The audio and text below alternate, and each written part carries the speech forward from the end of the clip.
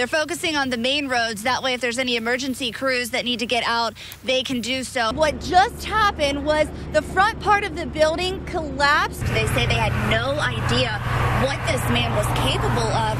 We actually just found out overnight that he was an amateur MMA fighter. Really coming down fast out here in Sevier County. Very powdery, very beautiful, but very dangerous driving conditions this morning. We are just off Highway 66. Well, victory for people against abortions in Ohio. The heartbeat bill has passed the House. This home behind me sat vacant in dire need of repair until Habitat for Humanity stepped in and now single mother Jennifer Brown has this newly remodeled home just in time for Christmas. Let's go check it out. Here's what's happening right now at the federal building in Knoxville. As you can see, a large crowd of people shouting, chanting. Hello, good morning, everyone. Happy Wednesday. We're having a good old time here this morning. I'm Kayla Strayer. The suspect is still on the run, though. We will let you know more information as soon as we get it in, but the important thing is that little girl is going to be okay. The park is empty on this side, but let me step over here and show you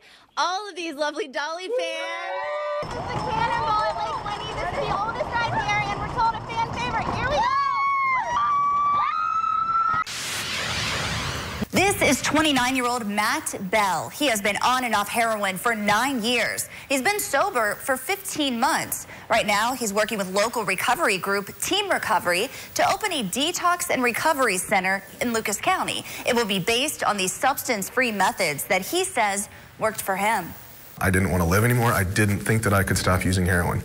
Addicted to one of Toledo's deadliest drugs, Matt Bell tells me he felt like he had reached a point of no return. And when I looked in the mirror, I didn't recognize myself anymore.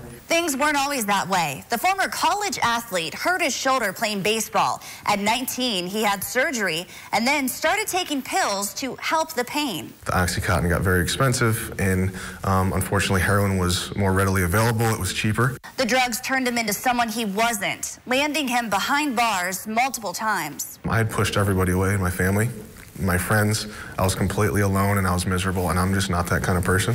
That's when he reached out to DART, Lucas County's Drug Abuse Response Team. Lieutenant Robert Kromick heads up the program. It uses treatment to get addicts off drugs and out of jail. These are high risk individuals that are on the brink of either dying or committing serious crime to keep their, their addiction going. Kromick says more than 2,000 people overdosed on opiates in Lucas County this year alone, yet there are less than 40 detox beds. I'd much rather bring somebody to a home and say this is, you know, how well your son or daughter is doing then show up at a funeral home and offer my condolences. And that's why Team Recovery stepped in. They're turning this Maumee building into the Midwest Recovery Center.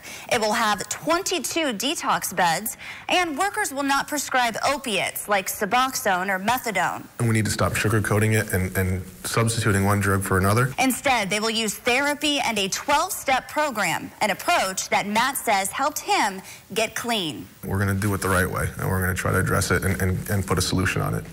The Midwest Recovery and Detox Center is scheduled to open this spring. They will treat any kind of substance abuse addictions as well as mental health disorders. For more information, including insurance coverage, visit NBC24.com. Sirens buzzing, people waving, kids coming by the busload. It's anything but a typical day at Meijer on Alexis Road. On Monday, the nonprofit Community Outreach Feet on the Street had their eighth annual 12 Kids of Christmas event. Whoa. Children in need are going on a shopping spree with Toledo police officers and local military members. This year, some patients at Toledo Children's Hospital get to take part. It means the world to Jessica Henneman, mother of six year old Amanda and 12 year old Joseph. My kids um, are in and out of the hospital quite a bit because they're cystic fibrosis. My son was just recently discharged. Um, he had pneumonia going on pretty bad. Joseph and Amanda are paired up with TPD officer Eric Welling and his wife, Sarah. Two great kids, and their mom seems like she really loves them and cares about them. So that makes it more special to us. The way I see it, if I'm down, my kids are down. I have to be strong for my kids. Sarah works at the hospital, helping children who have cystic fibrosis. It's a hard disease because it consumes so much of your time. But today, their time is consumed by shopping for their Christmas gifts with the officers. We have four kids, so we know how excited they get around Christmas time, and, and to come here and, and help these kids enjoy Christmas a little more really is uh, something that I enjoy doing on my time off. I really like it. So, what started as 12 children eight years ago has now turned into 200 children walking the aisles of Meijer with the police officers, getting really anything they want. I got a sweatshirt, um, a snowboard. This little girl getting an elf on the shelf. Thank you. Thank you for taking your time for the kids to, today to make their Christmas a little bit more brighter. Reporting in Toledo, Kayla Strayer, NBC 24 News. December 2nd, 2014, a dreary day in Knoxville, bringing images our community will never forget. Emergency responders, frantic parents. I thought I was going to pass out. These now mangled school buses, once filled with innocent children. The Asheville Highway bus crash killing three people from Sunnyview Elementary School. Seven-year-old Seraya Glasper, six-year-old Zykia Burns, and 46-year-old teacher's aide Kimberly Riddle. Comfort us all. The mom of Zykia Burns sharing hugs and encouragement at a candlelight vigil. I just want the, the other families to know that we are grieving with them. We've shown you how East Tennesseans are helping each other since that day. A memorial at the crash site filling fast, children writing sympathy cards, and donations for the victims' families. At Seraya's funeral, her mom Sharon Glasper sharing mixed emotions, calling her daughter by her nickname Bubbles. I know she's happy and I know she's she left happy. Um, but there's questions why. Six months after the crash, Sharon Glasper is still waiting for answers. I hold up for the from the support that I get, but when I'm by myself, I'm, I'm down.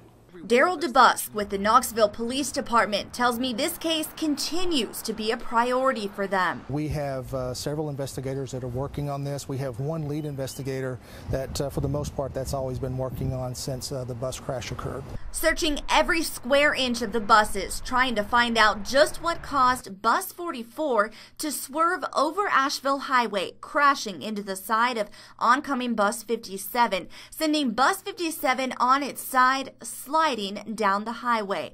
The main questions police are trying to answer was it human error, medical problems, mechanical issues, or a combination of reasons? Our priority is to the victims and the victims' families, and we want to make sure that we do our job accurately and that we find out uh, exactly what caused this so that we can inform them, they can get some closure, and we can move forward in the investigation and, and prosecution if it comes to that. While detectives do their jobs, Sharon's focus is on remembering Bubbles and the last time she saw her smile that December morning dropping her off at school. I signed her in and she was like, well, um, I was like, I love you. She's like, Mom. And I was like, I love you. She's like, Mom, I love you too. And she walked on down the hallway with that smile. And that was the last, that was the last smile that I had seen and will never forget. Some Michigan workers will be seeing a bump in their paychecks starting next week. Michigan is one of 19 states set to raise their minimum wage in 2017.